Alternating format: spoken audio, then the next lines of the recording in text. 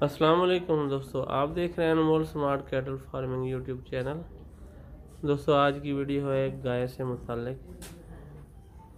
روہیلی bread کی یہ گائے ہے۔ اس بریڈ کا جو ایریا ہے، یہ رحمیار خان سے آگے سندھ تک۔ کنکری جس کو غلباً کہا جاتا ہے اور ہم اس کو روہیلی بریڈ کہتے ہیں ادھر رحمیار خان ایریا میں۔ اور دوستو، یہی گائیں ہیں جن سے نکرے بچے آ رہے ہیں۔ اور کافی جو ہے نا یہ گائیں اچھی پروڈکشن دے رہی ہیں۔ بہت اچھے پیٹ کی صاف ہوتی ہیں یہ زیادہ تر گائیں۔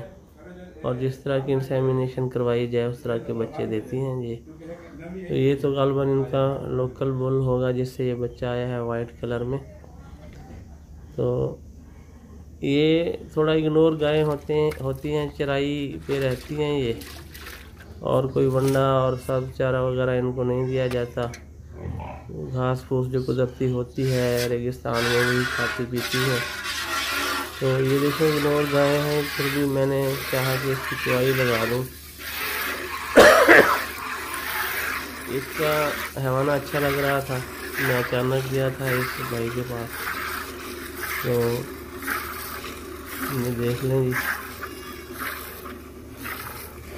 یہ جو دودھ آپ کو دکھایا جائے گا، یہ سارا میں نے خود اپنے سامنے چوائی کروائی تھی۔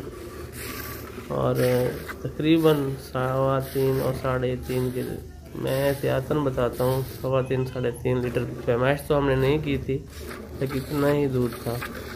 بعد میں ایک بھینس کی چوائی کی تھی تو وہ اتنا ہی دودھ اس کا ساڑھے تین لیٹر ہوا۔ تھا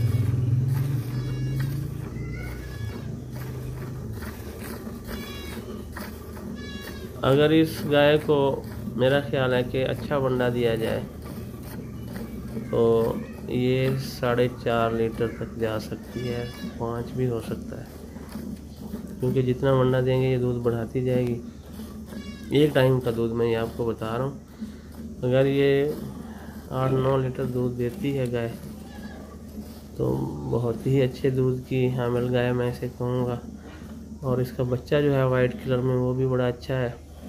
ابھی اس بچے کو یہ لوگ میرا یہ خیال ہے کہ سارا دودھ نکالنے کے بعد دوبارہ یہ پسما ہوتا ہے، ان گائیوں کا دوبارہ چھوڑا جاتا ہے، بچہ ان کے نیچے۔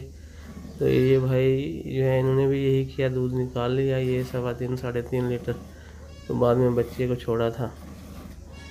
دوبارہ پسما ہوا تھا۔ اس گائے کی جو ڈیمانڈ کی جا رہی ہے، یہ ایک لاکھ پانچ ہزار ہے۔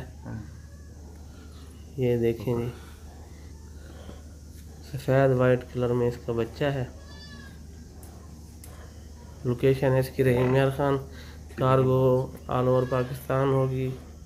کارگو کے جو اخراجات ہیں وہ معلوم خریدار ہوتے ہیں۔ لیکن ہم کوشش کرتے ہیں کہ شیخ وان سے کمبائن جانوروں کے ساتھ بھیجیں۔ لاہور کی طرف، کراچی کی طرف۔ لاہور کی طرف تو گاڑیاں بڑی مشکل سے ملتی ہیں، لیکن کراچی کی طرف آسانی سے کارگو ہو جاتی ہے اور مناسب ریٹ میں۔ چلو۔ دوستو یہ ہے یہ گائے۔ دیکھیں اس کی جلد بھی گلابی ہے۔ ہمانا دیکھ لیں اس کا۔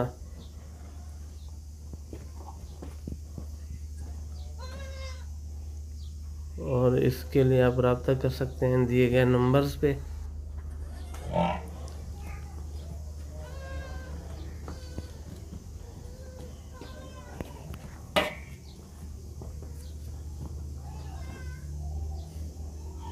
یہ ہے جی بچہ اس کے ساتھ۔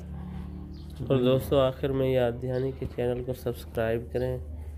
اور جو ہمارے مستقل ویورز ہیں، ان سے گزارش ہے کہ ویڈیوز کو آخر تک دیکھیں تاکہ ویڈیوز رینکنگ میں آئے اور اسی کے ساتھ اجازت جی سب دوستوں سے نیکسٹ ویڈیو تک کے لیے اللہ حافظ۔